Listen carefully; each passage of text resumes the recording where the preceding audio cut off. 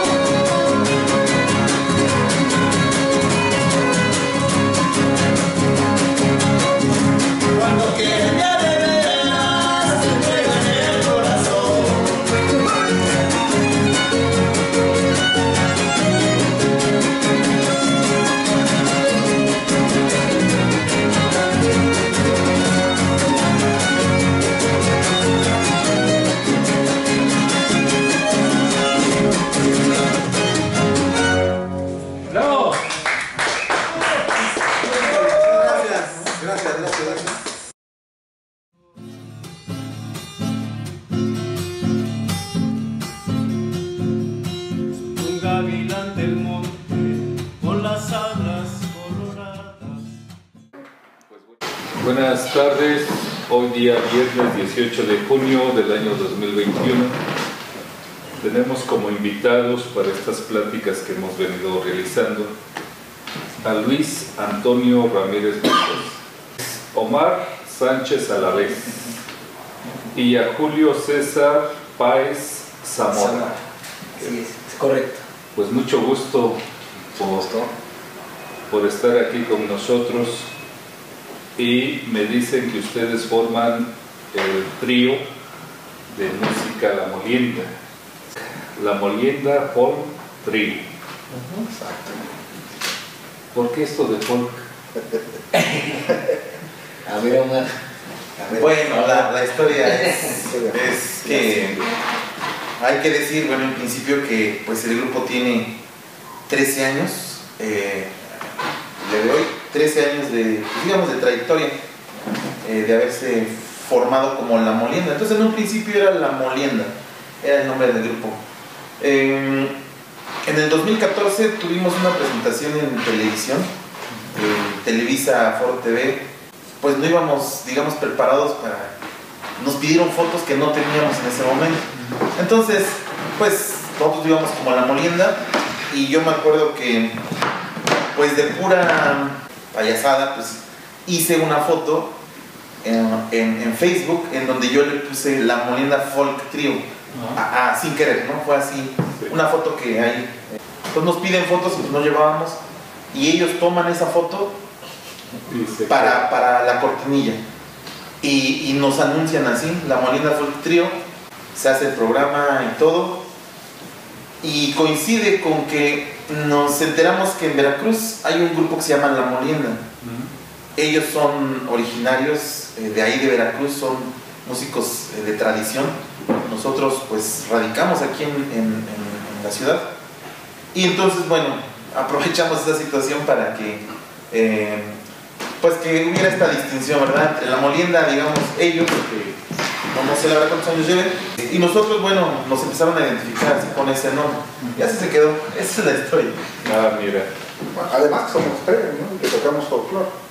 O sea, Ah, claro. la, la idea este, también es que resume porque eh, tratamos de hacer eh, la mayor cantidad de, de estados, de música de diferentes estados de la República, eh, pues como base nosotros tres. Si ya hay algún repertorio que necesitemos músicos invitados, pues lo hacemos, pero este, tratamos de tener la base musical. ¿Cómo es que sus familias llegan aquí a Ciudad Mesa?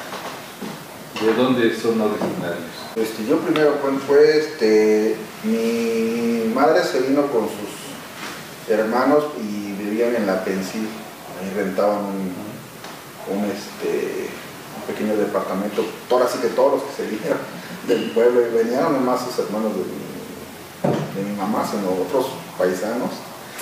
Y de repente ya estando ahí, este, ya acomodándose ellos a trabajar aquí en la ciudad y todo, se enteraron de que este, había una, una, este, una, una oportunidad de comprar un terreno, ¿no? un espacio que pues era nuevo en ese momento. Y pues se vinieron a, este, comprar y, resulta pues que eran mis tíos y mis, este, están así, somos vecinos, ¿no?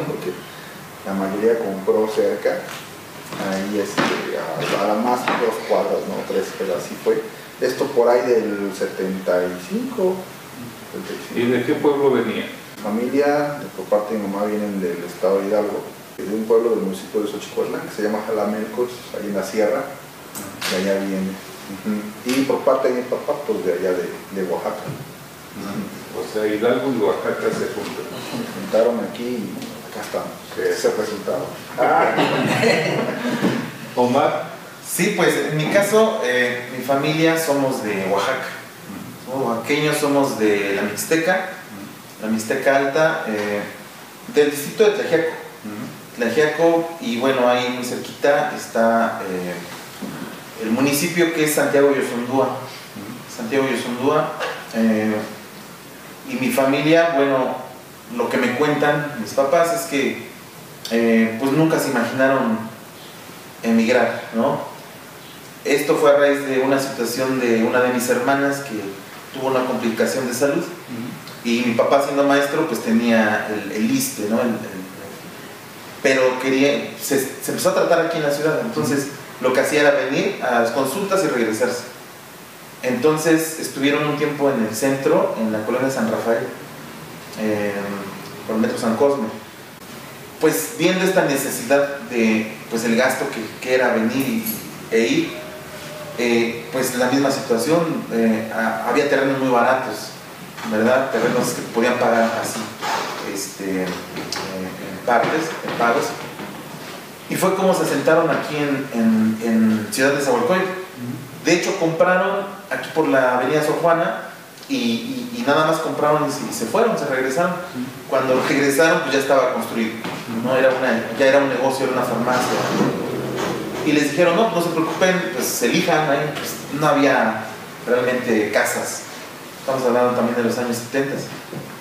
Eh, y eligieron aquí en la villada, aquí muy cerquita en la villada y cama de piedra.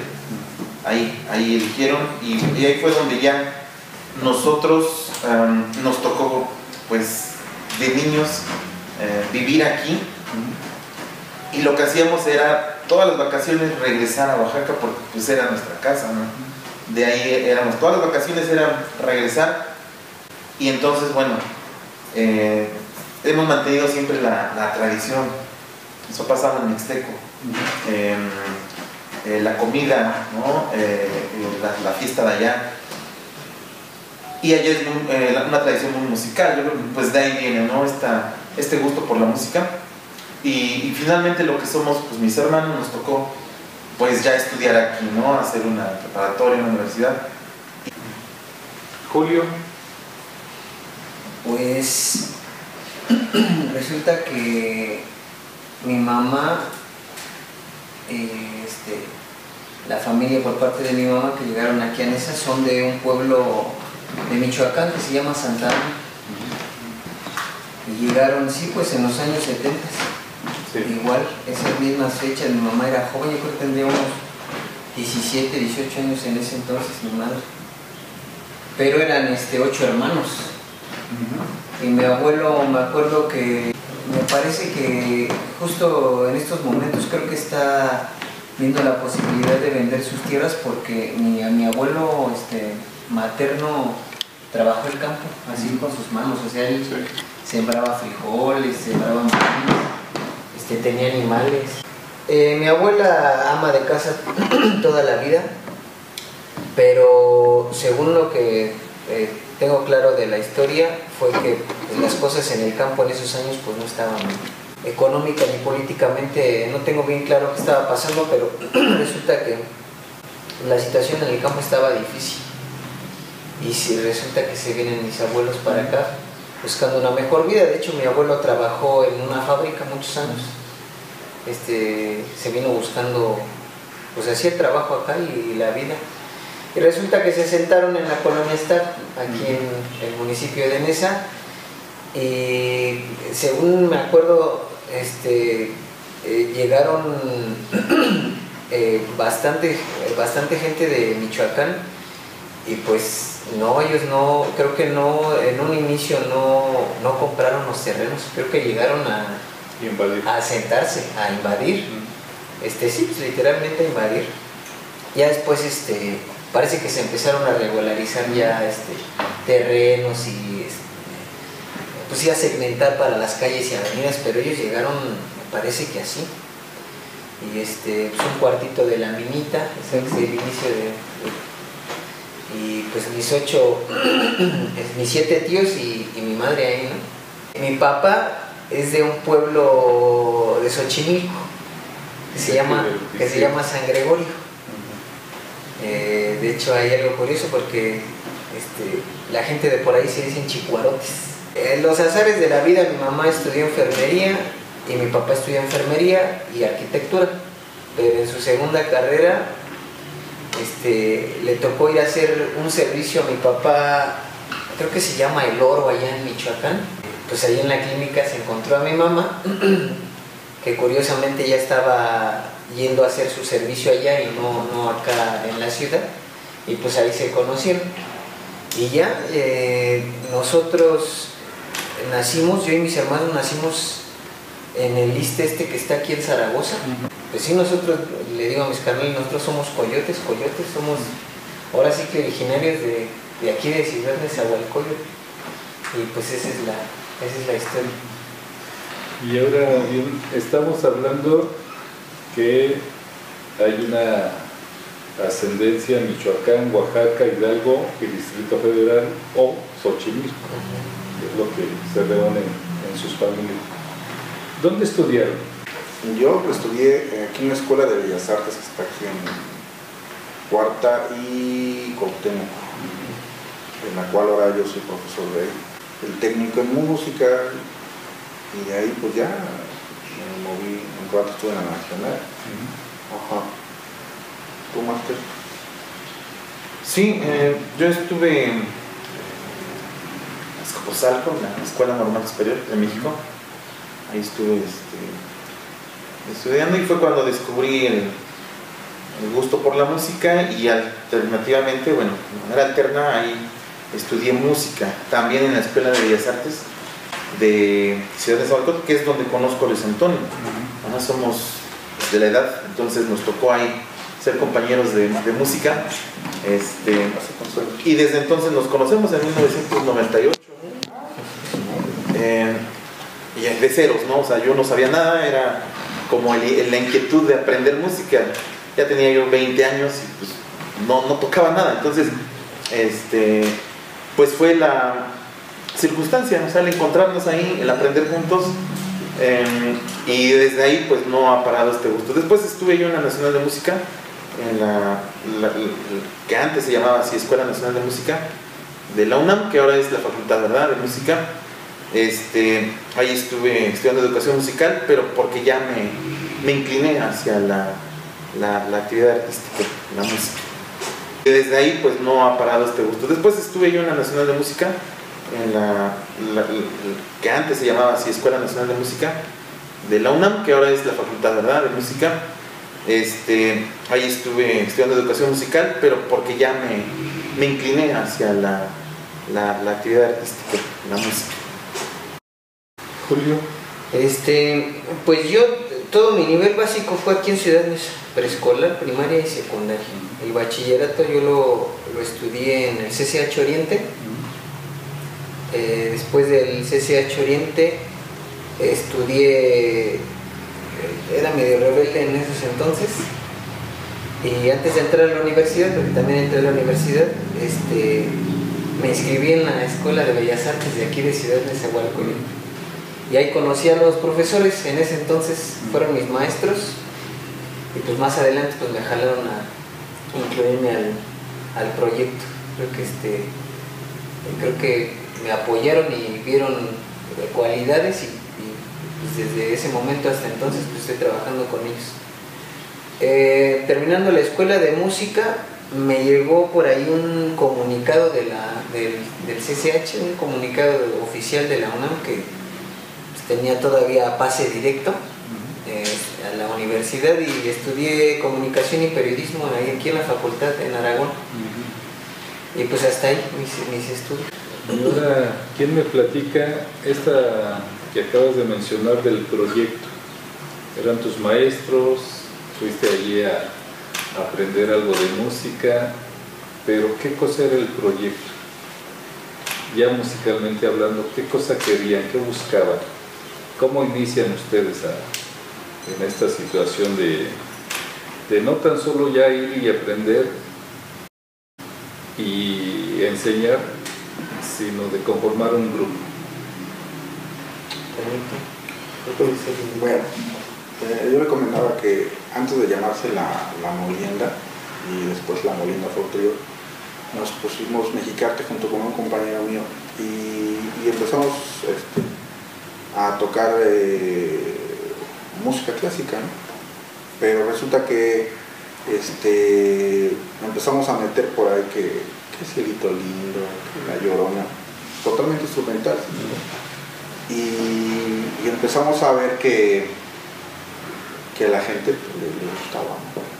yo digo porque, o sea, realmente nuestro, en, un principio, donde tocábamos era en esa, una que otra vez por, pues, por otros lados, pero era aquí, este, que, que en una casa de cultura, que en la otra, que en- donde se fue una fiestecita, lo que pudiera, se pudiera sonar. Y entonces cuando vimos, pues, este, que, que el, pues, la, la gente aquí en- estaba deseosa de, de escuchar música mexicana, ¿no? y sin querer o, o queriendo, no sabemos, empezamos a juntar para comprar los instrumentos y cuando nos dimos cuenta ya estábamos intentando tocar este, un sonecito jarocho y cuando nos dimos cuenta ya estaba, ya se había perdido este Raúl, ya estaba Omar y cuando nos dimos cuenta ya estábamos yendo a tomar curso y cuando ya nos dimos cuenta ya estábamos sonando en los festivales y cuando nos damos cuenta ya estamos aquí, ¿no? felices, este, tocando música tradicional con el mayor respeto posible. ¿no? Lo decimos, nosotros no somos de, este, músicos de tradición. Eh, iniciamos los tres pues tocando pues, formal música clásica y tratamos de emular, tratamos de, de hacerlo con mucho respeto. Este, por ahora sí que siempre con mucha admiración a la, a la gente de tradición, a los músicos que están ahí en, en los pueblos, este, y que gracias a ellos se mantiene esta música, porque ellos nunca bajaron la, la guardia, siempre estuvieron ahí este, eh, sonando nuestra música. Y gracias a ellos, a todos estos este, músicos, pues, este, la admiración, el interés, el gusto, este, es- pues, se nos quedó y ahora pues, queremos transmitir ese gusto por la música tradicional. Está bien que la, la juventud pues, escuche otros géneros como en su momento, yo creo que todos escuchamos ska, reggae, rock, pero este, en cuanto empezamos a, a- ahora sí que a, a escuchar ese tipo de, de música, nos enamoró y aquí estamos, sonando y esperemos que, que- que haya gente que se enamore igual que nosotros de la música tradicional. Comentaban que ya son cerca de 20 años, 13 de manera oficial, Claro. Pero 20 años que empezaron a hacer estos ejercicios de querer tocar. Ahora platíquenme, ¿qué cosa es lo que ustedes tocan? Pues, digamos, una de las formas de, de, pues, de explicarlo es pues que la diversidad musical en México es muy grande, es muy muy grande. Entonces eh, hay música eh, pues local, regional. Eh, nosotros, eh, yo lo puedo decir así en- eh, de manera personal, lo que nos enseñaron en el conservatorio es música europea. Entonces uno se vuelve, digamos, este em, hábil ¿no? en, esas, en, esa, en ese tipo de música. Pero uno desconoce todo lo demás. Eh, a pesar de que en mi caso somos de Oaxaca, pues yo conozco la música de Oaxaca, pero no conocía las regiones del país en México. Y, y hay mu- mucha música muy interesante y música muy compleja. Ahí es donde em, yo me di cuenta que cuando pues terminé de estudiar música, yo pensé que ya era todo. Y dije, pues ya, ya soy músico, ¿no? Y es cuando ellos me invitan. El maestro Eduardo Velázquez, que es maestro de Bellas Artes, eh, Luis Antonio Ramírez, me invitan a tocar música mexicana. Y yo dije, pues ha de ser bien fácil, ¿no? Porque es música mexicana. Yo tocaba el violín y me enfrento a tocar sones huastecos. Yo los desconocía. Yo tenía un requinto jarocho y me piden que les ayude con el requinto jarocho. Y yo dije, pues le pongo cuerdas y ha de ser bien fácil también, ¿no? Eh, yo tocaba el acordeón y me dicen, necesitamos que nos ayudes a tocar polcas.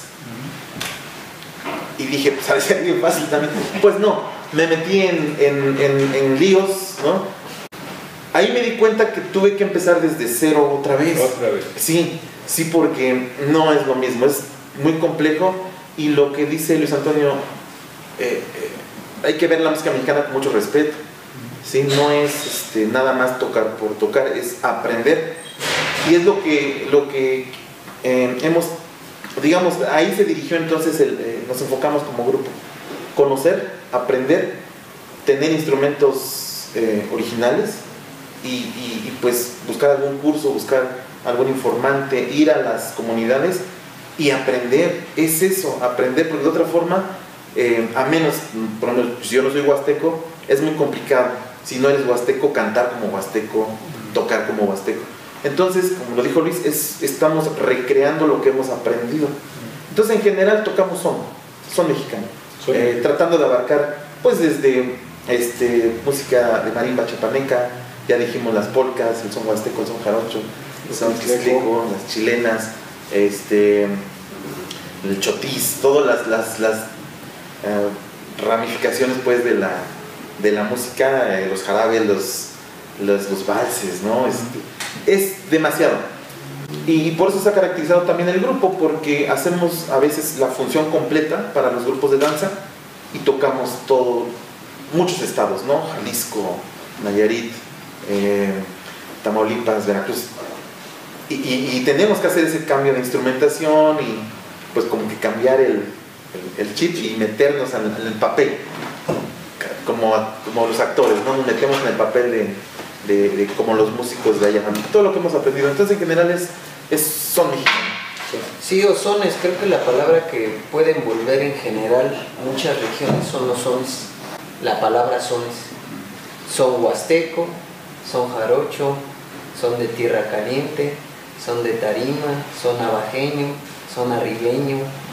Este, en general creo que la palabra son eh, abarca bastante, este, hablando de, las canciones, de la música que se toca en la República Mexicana. La palabra son, sones. Ahora bien, para una persona como yo que creció en esta cuestión de la cultura que nos dio Televisa a través de sus películas, yo recuerdo mucha, mucho una escena de Pedro Infante en la película de los tres huastecos, donde de repente este actor que le decían mantequilla está tocando el violín, ¿no? pero lo hace así de, de que llega Pedro Infante y le dice, no, así no, y a ver, trae, y empieza él a hacer el, el sonido de, del son de, de este huasteco. Y ahora bien, me comentan que hay huasteca hidalguense, veracruzana y tamaulipeca. ¿Habría alguna diferencia en lo que ahorita mencionaban, que hay diferentes zonas? Si hay diferencia en estas tres zonas que conforman la huasteca, o la de estas tres huastecas. Pues creo que eh, es una cuestión de estilo, ¿no? Es un estilo y aparte en la cuestión, así en lo que va, se va a ver más destacados en el vestuario. Y el estilo la- o la forma en que a veces es más lento, o sea, la- este, las piezas un poquito más asentadas, este, es la, la forma de atacar el, el violín, ¿no? Va a hacer la diferencia. Pero donde lo vamos a ver es, va a ser en los pasos y va a ser mucho en el vestuario, ¿no? Es lo que se nota más ahí, esa, esa diferencia de las... Bueno, no hablando, de- hablando del espectáculo, ¿no? Ajá. Más tradicionalmente no es tan notorio Ah, no. cómo están vestidos ni... En la música yo creo que sí. Por ejemplo, es más arrebatado un son, un son el que sea eh, en Tamaulipas que acá en Hidalgo, que siempre Más suave. es un poco más suave. Sí, sí, es una, es una cuestión de estilo, yo creo. Sí, y bueno, es verdad, ¿no? Como sea, lo que pasa es que nosotros ve- vemos el folclore y lo hemos eh, catalogado, lo tenemos presente en un escenario, con un vestuario definido y todo. Cosa que para nosotros, por ejemplo, a la hora de que ya fuimos a, a- los fandangos, por ejemplo, a Veracruz, pues es totalmente diferente, ¿no? Imagínate. Así, o sea, porque fuimos a Matlán, ¿no? Que ya es un, son fiestas, ¿no? Una fiesta donde no necesariamente tienes que ir vestido, donde no hay una coreografía, ¿no? Estas coreografías este, que son como tal las rítmicas que se hacen en, en los ballets, pues que nosotros estamos acostumbrados y pensamos que forzosamente ese es el folclore, y no, o sea, este, eh, eh, en lo personal a mí lo que me llamó mucho del, del folclore y del son jarocho en específico, es que es este convivir. O sea, el fandango es fiesta.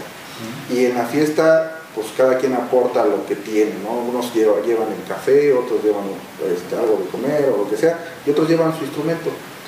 Y, y- y se, ahora sí que se suben a tocar y no importa si uno es bueno, el otro es más o menos, no importa que el otro desafine, no, el chiste es convivirnos, no la pose esa de, de, "Ah, yo soy el, el artista y tú cállate. No, no, no, o sea, ahí en, el- en la fiesta como tal, se ponen todos alrededor de la tarima, se chingan un buen trago de aguardiente y a sonar eh, como hermanos, como, sí, para pasarla bien. Este, cosa que de repente a nosotros como de la ciudad, pues estábamos acostumbrados al, al artista en el escenario, al- a las luces, al vestuario, eh, no sé, por ejemplo, jarocho de blanco, ¿no? Imagínate en la sierra cómo vas a andar de blanco, ¿no? Este, y más en época de lluvia. Entonces, este, este rollo de ver ese México, pues que nosotros de alguna forma pues desconocíamos, eso fue lo que nos, este, nos llamó y el poder yo de repente estar en un fandango y estar, volteo y veo al, al no sé, al guitarrista de, de Mono Blanco, hacia alguien que yo admiro y verlo ahí tocando con nosotros sin ningún, sin ningún este, pose, puta, eso para mí fue lo más chingón, porque de repente sí se malacostumbró uno a ver a los, a los artistas, y más a los que ya tienen este, cierta fama, ¿no? Y, cierta, y, y acá no, acá lo ves como, como un convivio, como una fiesta. Cada uno, me imagino, por diferentes razones, ha tenido ciertas influencias. ¿no? ¿Pudieran platicar quiénes han influido para que ustedes hagan este tipo de música? Es que a mí lo primero que me llamó fue el son jarocho, a pesar de que mi mamá es de la Huasteca, y lo primero que yo escu- escuché y me encantó fue este un grupo que se llama Los, los Cojolites, que son de dónde? De Jaltipan. Los Cojolites. Y luego este pues este mm, pues son de madera, ¿no? Son de madera también, es un grupo de son jarocho. Fueron los que yo fueron hace un chingo de tiempo que los escuché y. Ah, bueno, y a Mono Blanco. Este, que me, que me llamaron mucho la atención. Y a partir de ahí me dio por este, por quererme acercar al- a la música este, tradicional. ¿Tú? Sí, en mi caso, a mí lo que me movió así totalmente fue que, eh, pues ese arraigo que yo tengo hacia mi pueblo, o sea, eh, pues la, los paisajes, la comida, el clima, eh, la gente, a mí me, gusta mucho, es- ese es mi, mi lugar, es mi origen. Y yo me di cuenta que los músicos antiguos, los que yo veía cuando era niño, eh, los, los señores ya muy grandes que tocaban el violín, eh, o la orquesta eh, antigua, la orquesta de, de chilenas, este, pues yo los admiraba porque pues, me gustaba la música. Pero ya las nuevas generaciones no lo aprendían, aprendían otras cosas. Entonces, pues yo vi ese fenómeno, ¿no? De que los jóvenes de mi edad, de ese entonces, pues tocaban teclados electrónicos, ¿no? Y tocaban cumbias, tocaban cosas de, de otros lugares. Y, cuando empezaron a, a- pues por la edad empezaron a fallecer los, los músicos antiguos, pues uno se da cuenta que, que entonces eh, es alarmante, o sea, es, es una, una situación de, de que esa- es- eso va a desaparecer en algún momento. Entonces dije, bueno, ¿y esto dónde se aprende? ¿Esto dónde, em, por ejemplo, pues cantaban en mixteco, eh, violines que ellos hacían, ¿no? No era un violín este, afinado así eh, muy exacto, ¿no? Em, pues había una cera ahí que ellos conseguían, no había brea, no había estas cosas. Cuando uno ve eso, uno dice, bueno, pues es que esto es lo bonito, esto es lo, lo digamos, este, verdaderamente, eh, la verdadera música mexicana, es esa, ¿verdad? No, no lo que, el estereotipo. Y entonces, eso fue lo que a mí me, me movió, porque cuando me enfrenté a eso, eh, yo dije, bueno, ya me di cuenta que no es fácil, ya me di cuenta que entonces pues uno tiene que eh, empezar desde cero y, abordarlo con mucho respeto, aprender, no hay otra, no, no hay otra forma, aprender y, bueno, ese, ese ha sido mi, mi inspiración por así decirlo, ¿no? Mi, mi deseo, mi deseo de aprender, ya en el camino, bueno, ya nos toca este, eh, representar, ¿no? La música tradicional, pero en, en general es eso. Es lo que habíamos comentado hace rato. eh, cuando entré yo a la, escuela de música, pues lo primero que conocí pues, pues sí fue la música académica, leer partituras y la guitarra interpretar y todo este, este lenguaje de corte académico. Este, pues me gustaba mucho, pero resulta que igual que Toño, eh, la primera música tradicional a la que, con la que me encontré fue el son jarocho. Fue el son jarocho y, me invitaron un, un- un par de amigos que por ahí andan, Parménides y Natse, a tocar son jarocho. Y no, to- tocas bien la guitarra, agárrate este, este instrumento. Pues es como la guitarra. Un requinto tradicional tiene cuatro cuerdas, la guitarra tiene seis. Entonces, pues resulta que empiezo yo a escuchar la música y de hecho uno, o no sé, pero eso fue eh, algo muy personal que me pasó. Entré yo como, no sé si menospreciando, pero no, no le tomé, eh, le- ajá, no le tomé el respeto debido a, a lo que este, eh, empecé a escuchar, empecé a escuchar los sones y, ah, está en do, y, y otra canción, otro son, y, ah, también está en do, y así empecé con esto del son jarocho, y resulta que enfrentándome con el instrumento, ya fue donde donde me di cuenta que no era nada fácil.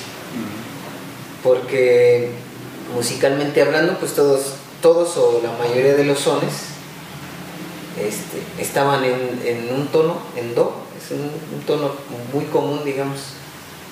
Pero cada son en particular tiene sus células rítmicas muy particulares.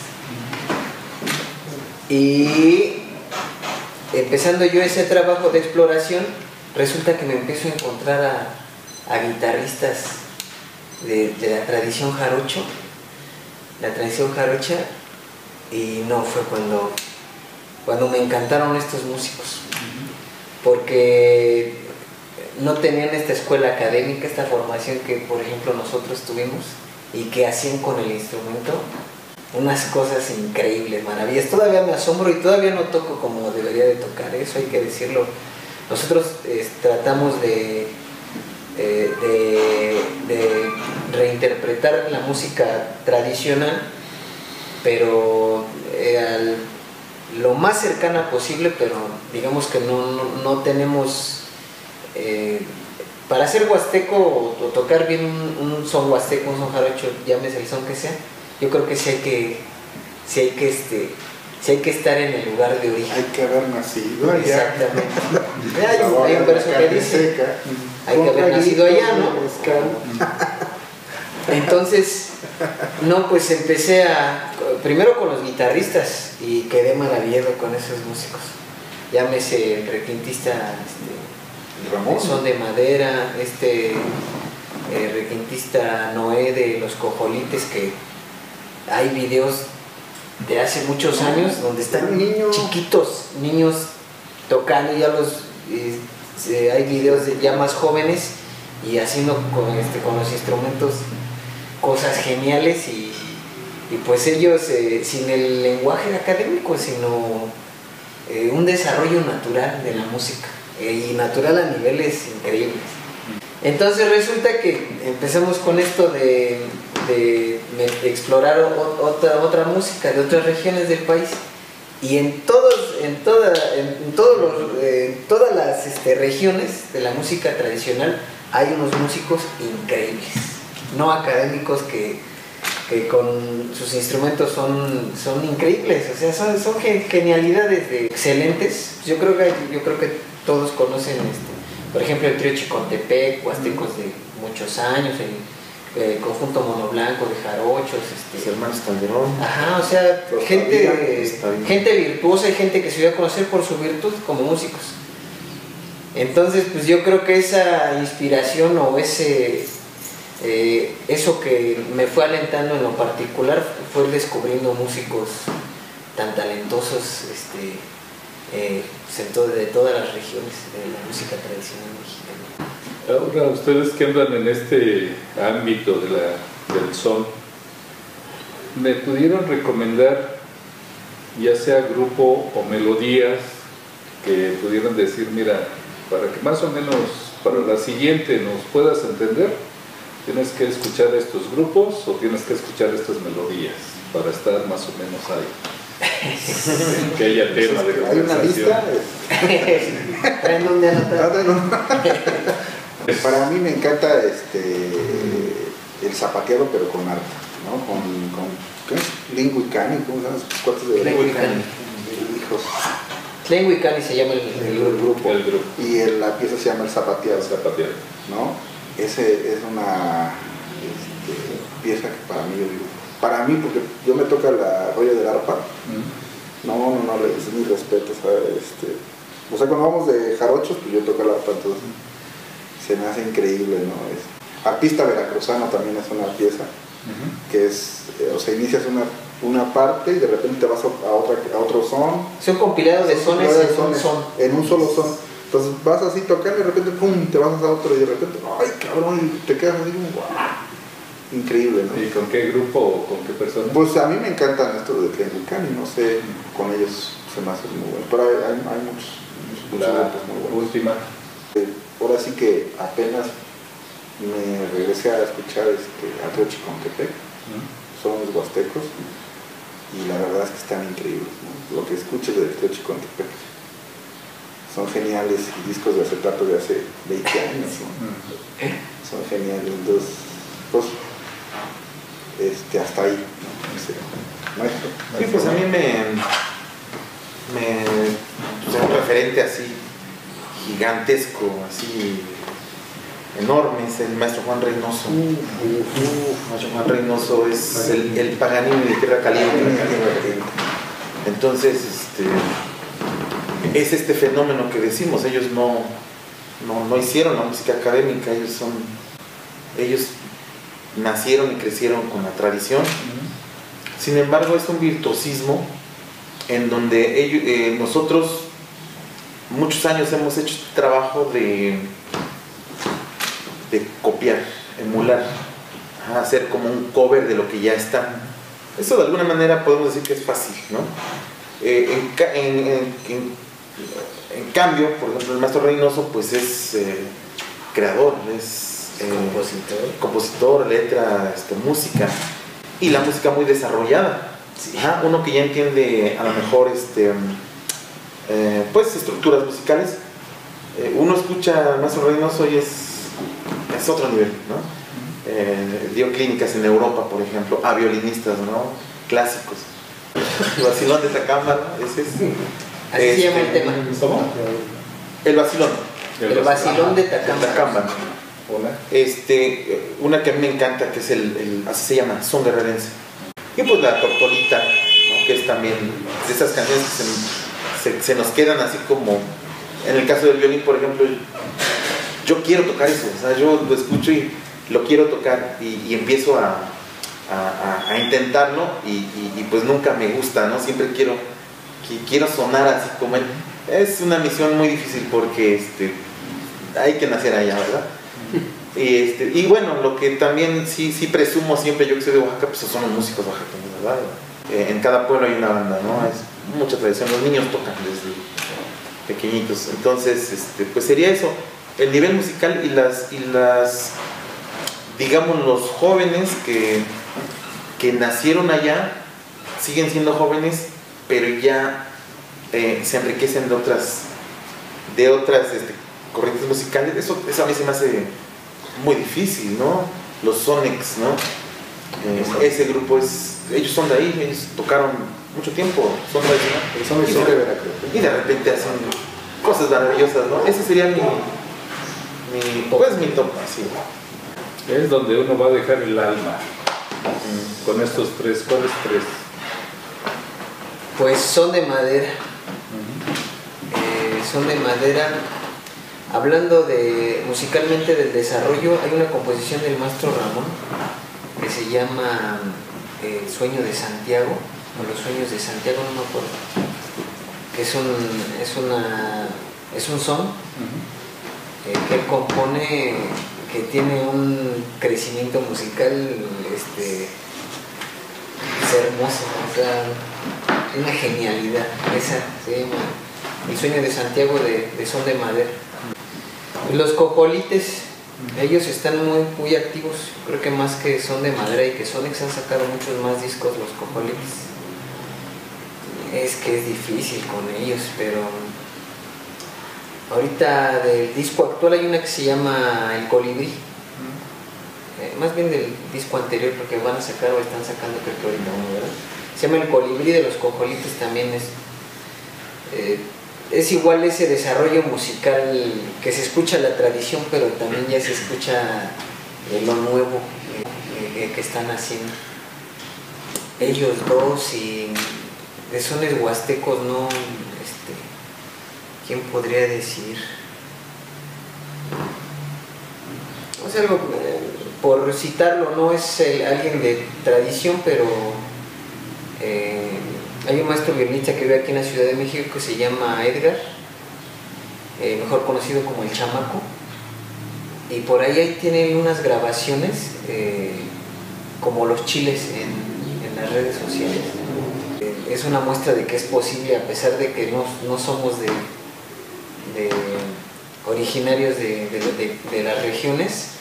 Este, no, el, el maestro Edgar, el chamaco, este, eh, ha sido un violinista increíble, huasteco, ¿eh? y, y codeándose con, con gente de la Huasteca, y este, que, que tiene un virtuosismo este, hasta la fecha, pues todavía este, eh, muy, muy apreciable. Entonces, los chiles, el, el tema que quieran escucharse. Pudiera yo, Claro. a mí se me pasó un grupo y creo que se tiene que mencionar. Este, hace un buen de rato yo fui al Museo de Culturas Populares, estaba un encuentro de música tradicional mexicana y de repente se subió un grupo que a mí, a ver, ¿por qué hablamos que se llama Sacil? Ah. Chingoncísimo en ese momento, no, cabrón, cabrón.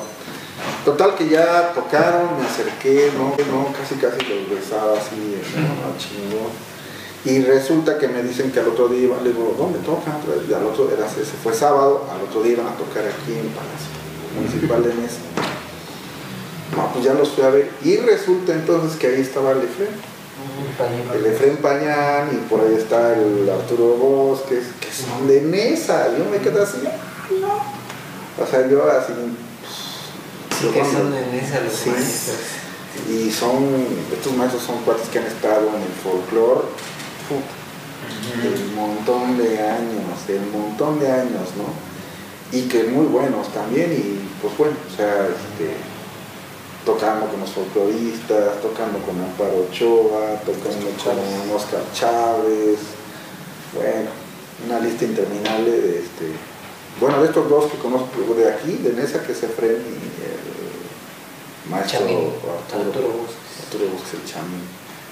Pero este, no, hombre, con la camada, esa, esa camadita que traen, uf, increíble, ¿eh? musicazos todos. Y este, pues no son, no son músicos de la región, pero hacen muy bien, muy, muy, muy Sí, bien. lo que decíamos. Sí, han desarrollado bastante también. ¿eh? Y pues han viajado a, Conoce medio mundo. Al infinito y más allá, ¿no? este, porque llevan añísimos haciendo esto y lo hacen súper chingón. ¿Para dónde va la molienda folk? Pues, Año justo, 2021, ajá, ¿para dónde va la molienda? pues justo estamos en esa transición. Eh, Queremos destaparnos. Queremos hablar con él. Queremos salir, queremos salir por fin. Eh, pues yo lo decía un tanto en broma, un tanto en serio, que pues hay un, un paso natural de este trabajo de hacer covers, eh, por, de- ya, por poner una palabra ahí, y el trabajo de, de las creaciones propias. Entonces, por ejemplo, hablando de los folcloristas, nosotros pues somos como como el de esa línea, ¿no? Como que son nuestros maestros, ellos. Sacil también son nuestros maestros porque nosotros estamos en esta línea del, este, del folclore mexicano. Sin embargo, pues Sacil ha hecho cosas creativas muy grandes, muy, muy importantes, ¿no? Uno también quiere aprender eso, porque eh, eh, no nos podemos quedar eh, eh, con que todo esté resuelto, ¿no? Entonces, en esa inquietud de la creatividad, eh, pues hemos eh, hecho algunas eh, piezas, canciones propias que pues nadie conoce, ¿no? Porque no hay una producción discográfica, no hay una difusión. Lo último que hemos hecho, hablando de grabaciones, pues es un disco donde precisamente recopilamos son jarocho, son huasteco, eh, sones de México y salieron 24 canciones ahí que están grabadas, que ya no salió en forma ni hubo presentación oficial porque la pandemia, ¿no? Eh, etcétera, se ha alargado. Hablando del día de hoy, el proyecto que tenemos en puerta, eh, hablando de música, es pues la grabación de un disco con temas originales. Temas de nosotros los tres. Los tres componemos. Eh, tenemos no solamente el, el- el- pues, el quehacer, el trabajo, el trabajo este, creativo. Eh, y de alguna manera, bueno, como grupo, pues tenemos ya ciertos cimientos que nos permiten pues hacer colaboración eh, nosotros y, y adaptar lo que ya hacemos, que es la música tradicional, pues a nuestras composiciones. Entonces estamos en eso. De hecho, ¿qué tiene? Dos días que fuimos a una entrevista, ¿verdad? A este, televisión por internet.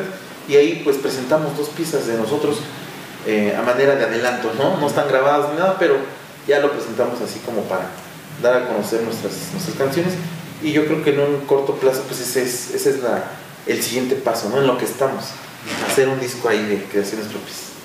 Sin dejar el, Ah, claro. tocar el folclore. O sea, esa es como, esa chamba ahí está y queremos ir aprendiendo y vamos a tra- tratar de sacar más repertorio, de llegar a, a- a buscar ese nivel anhelado de interpretación que se quiere o que se pretende, pues.